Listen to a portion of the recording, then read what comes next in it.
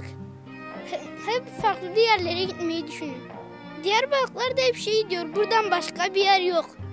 Zaten gereksiz cesaretle yapılan çoğu şeylerin tamamı gelmiyor. Bir de olayları değerlendirmek mesela teorik olarak değerlendirmek bunu yapmak mümkün mü? Yoksa değil mi? Mesela derenin sonuna ulaşmak mümkün.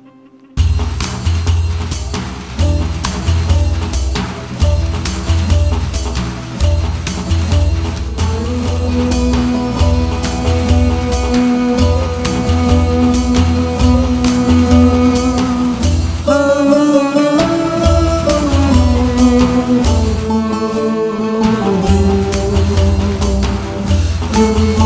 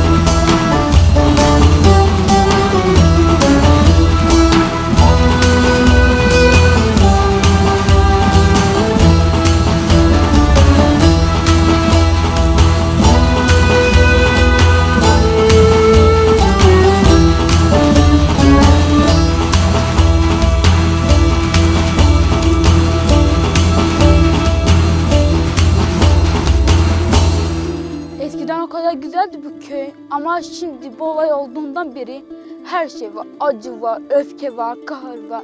Her şey var. Artık bizim için hayat yok oldu.